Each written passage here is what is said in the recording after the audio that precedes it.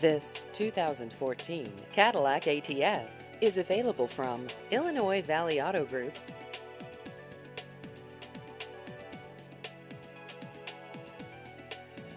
This vehicle has just over 43,000 miles.